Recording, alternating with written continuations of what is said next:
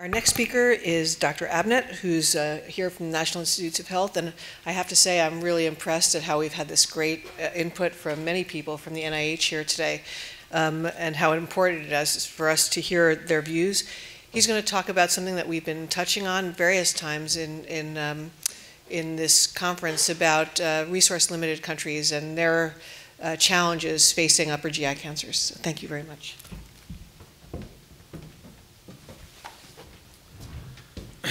Uh, good afternoon. I'm really happy to be here and I've really enjoyed the conference. Uh, so I'm going to talk about uh, gastric cardiac cancer, which is something that we haven't heard a lot about, and it's something that's of uh, a lot of importance to my research portfolio. and I want to try to share some of the insights that we've gained over the years. So uh, everybody here is working on gastric cancer to one degree or another, is familiar with it, but just for those of you who might not be sure, the cardia is just the top few centimeters of the stomach.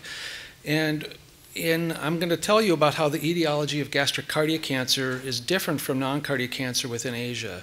Now, I don't think that would be a surprise if I said outside of Asia, because we think of gastric cardiac cancer as some sort of a combination of GE junction cancer, hard to separate from esophageal adenocarcinoma, and more or less similar to esophageal adenocarcinoma, but that's not the case in Asia.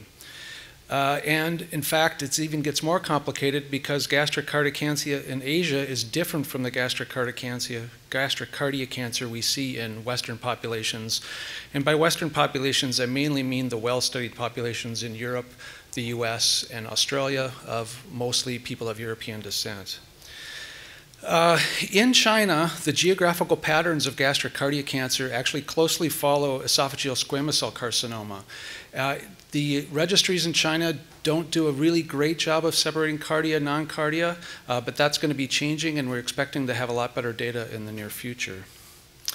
So these are maps from back in the 1970s of cancer mortality in China.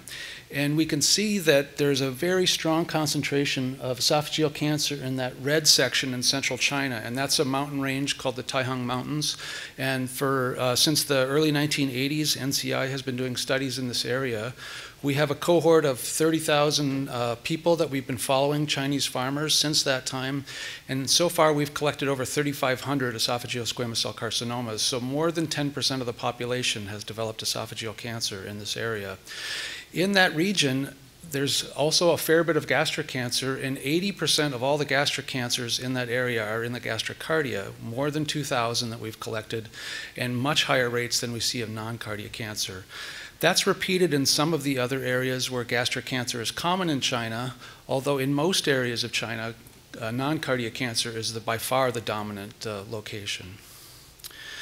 So when we started looking at these and trying to understand the etiological differences between these, because that's the primary goal of my research, uh, we start and we have this cohort where we have lots of squamous cell carcinomas, lots of cardiac cancers, and enough non-cardiac cancers to make comparisons. So I think one of the most important ones we can make, especially for today's meeting, is the role of Helicobacter pylori.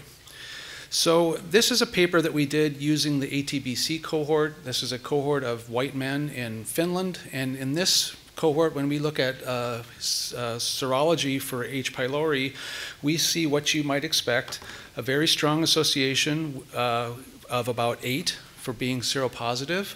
And if you look at what they call gastric cardiac cancer, it was, our results were 0.3, a strong protective association, suggesting that not having HP increased your risk for, for uh, cardiac cancer. Now, the way the Finns call cardiac cancer includes uh, tumors that are up to three centimeters above the junction, and so essentially this is really a, an extensive GE junction combined endpoint. Uh, they do have some, of course, adenocarcinomas that are farther up in the tube, but uh, so few that we didn't include them in this study. Uh, and something similar has been seen in many other studies. Usually it's called esophageal adenocarcinoma, and in almost always the case is that if you're HP positive, your risk is lower. But in many of these studies, it's been almost impossible to separate out what's a cardiac cancer from uh, what's a, a esophageal adenocarcinoma, and that's pretty much true throughout most of the studies in the Western world. Now, when we go to China, we see a very different situation. Here in our cohort, we see we tested a subset of our cases, and we see that for squamous cell carcinoma, there's no association with being seropositive.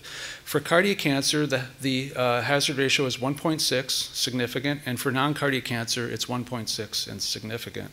So we see really the same uh, level of association for cardiac and non-cardiac cancer, so suggesting that HP is causing cardiac cancer, at least in central China. Uh, the, the hazard ratios are much lower here, but that's not because HP is less important. It's just because almost everybody's infected, and when you have very high infection rates, the hazard ratios are going to look lower.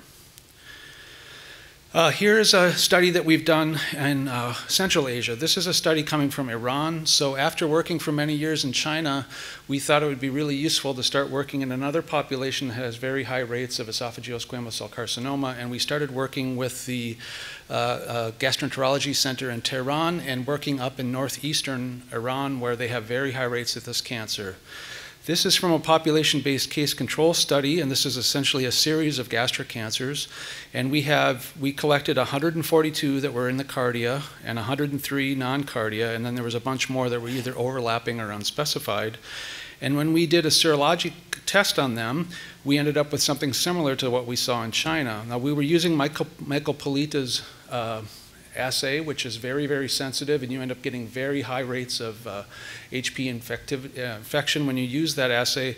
So I've just pulled out the CagA positive part of it today, and you'll see that we have for the cardia 2.1, for non-cardia 3.5, again, quite similar association. So um, we had done a number of studies like this, and at some point, I was kind of starting to feel like a crank because I kept saying, well, I think in Asia, cardiac cancer is caused by HP, even if it isn't in other parts of the world. Um, but I did find some other evidence, and here's a nice systematic review from Korea where they had some studies that had both cardia and non cardiac cancer. Again, you see the same thing. HP seropositivity has the same association in the cardia and the non cardia.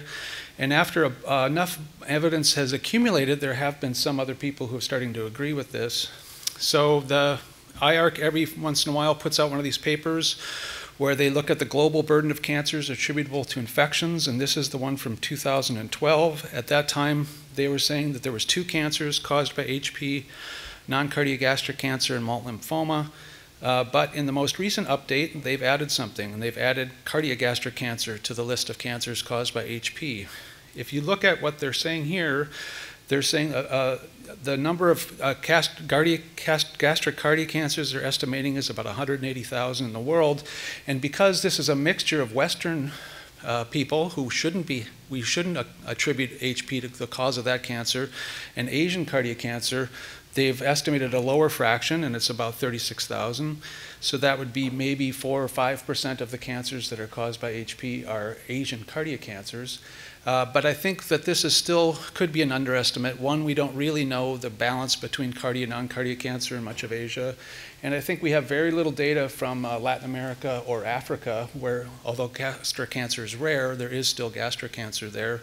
And we know that HP infection is ubiquitous. So that's of, uh, of interest of who to blame for gastric cancer and, and making an accurate estimates, but I think it has other relevance too. And that's because of work like this from Dr. Choi, who unfortunately wasn't here today. And this is his H. pylori therapy study looking at the prevention of metachronous gastric cancer and the importance of doing uh, eradication on people at the time of, of gastric cancer diagnosis. So if cardiac cancer is caused by HP, the question is, is whether or not people are eradicating it. I'm assuming that in many instances in the United States, if you have a cardiac cancer, you don't even think about HP, or you think it's probably was, the cancer might be there because the HP was missing. But in Asia, I think you really should think that the HP may have caused the cancer. And that may be also relevant to, to Asian immigrants in the United States. This has been very consistent in both cohort studies and randomized control trials, and so I think that this is really an important question that we consider when thinking about cardiac cancer occurring in, in group, people of different ethnic backgrounds and also uh, geographic backgrounds. Now, we did other things besides just look at the serology. Here's a study where we did looking at serum pepsinogens. On the left, it's the results for non cardiac cancer, and this is a prospective cohort study. Uh, and on the right is cardiogastric cancer. And the serum uh, 1 to 2 pepsinogen ratio is on the x-axis and the odds ratio is on the y-axis. And you can see that as the pepsinogen ratio falls, which is a serological measure of gastric atrophy, that the odds ratio for uh, non-cardiac cancer gets quite high. We see a very similar pattern, although somewhat muted in, uh, not, in cardiac cancer. We also looked at squamous cell carcinoma in the study, and was, that was completely flat. So we've looked at a lot of different risk factors in the NIT cohort, and overall we see lots of different patterns. We see HP for both types of gastric cancer. We saw selenium deficiency was only for squamous cell carcinoma and gastric cardia adenocarcinoma, but not non-cardia. So we see all these patterns. One thing that was quite important for all of them is family history. And as we moved into studying the role of common genetic variation, we also looked at this uh, same question.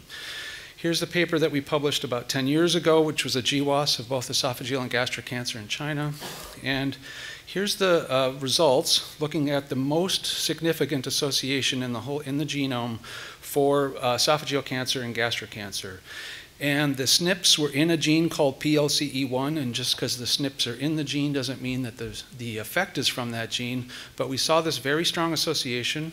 Uh, we were able to replicate this in other sets to push down our p-values. And then we also see this for gastric cancer. Now, I've been saying that we shouldn't combine gastric cancer into cardia and non-cardia. So when we separated it, what we see is that, that that average signal for gastric cancer was in fact a super strong signal from the cardia and nothing from non-cardia cancer. So looking at genetic common genetic variants, again, we see that esophageal squamous cell carcinoma and gastric cardia adenocarcinoma are linked in this population. We've gone on to do a much deeper analysis across more of the genome, and there's been other publications from China. And what we see is that so far we've only found one uh, low, uh, loci that's only associated with cardiac cancer. We see lots of them where it's associated with just non-cardiac cancer, and then we see some where it's both. For example, MUC1, where we see a very strong association for MUC1 SNPs for both cancer types. So moving on to uh, somatic changes, here we don't really have much data. This is from the very nice uh, TCGA paper, and this is the uh, locations of the cancers that were included. I don't think that there was a crosstab for the GE junction cardiac cancers. I think most of these came from uh, uh, white populations.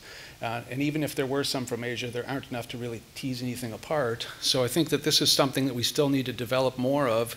And fortunately, we do have a study coming along that's going to address this to some degree, and that's through the uh, Mutographs project, a, a grand challenge from Cancer Research UK. This is a very large study that they funded that is provided uh, a, a, big consortium of people led by Paul Brennan from IARC and the Sanger Center. And they're bringing together uh, 5,000 tumors to do whole genome sequencing. It's a 1,000 apiece for five different cancer sites, and that includes both squamous cell carcinoma and adenocarcinoma of the esophagus. Um, we contributed a lot of the squamous cell carcinomas to their um, effort, and they're working away on those. They did not include uh, gastric cancer in this project, but we've been able to um, talk to them, and they're going to use some of the excess funding and sequence at least 150 cardiac cancers to be able to come, this, come through the same pipeline. Now, we've got lots more of them that we've collected in China and Iran, uh, so there is the possibility to, to, keep fleshing this data set out as it becomes more accessible. Finally, I just wanted to mention the microbiome. It's something that I've spent a lot of time working on methods, and we think that this may be helpful in understanding uh, both how HP causes cancer and also why we might see some differences in different populations. Uh, one of the first things that we wanted to do was figure out how to collect samples. And so here's a study that we published comparing the use of swabs versus uh, biopsies. And we did this by working in a hospital where there's lots and lots of esophagectomies and gastrectomies done, and we opened up the organs and then we swabbed and we biopsied with it on, on the bench in front of us so we didn't have to put it through the endoscope.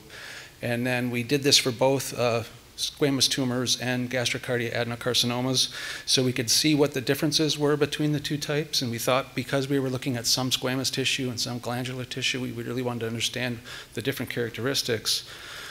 Uh, we also looked at uh, comparing the tumor and non-tumor that we had uh, that we had sampled from, and this just came out just a couple months ago. And this was a relatively small pilot study, but we thought it was interesting. One thing that we saw is that when you're looking at the esophagus, The tumor and the non-tumor tissue, whether you biopsy it or you swab it, we really couldn't see much difference in the microbiome, and that may be just because what we're measuring really is just the saliva passing over these tumors. But when we look in the cardia, we see big differences between the tumor and the non-tumor, and there's, it seemed like it was something more was changing. Maybe the glandular tumors are, have more uh, unique uh, uh, habitats for, for different bacteria to take hold.